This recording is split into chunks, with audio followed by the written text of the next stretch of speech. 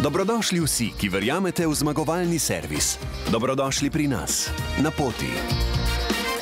Petrol.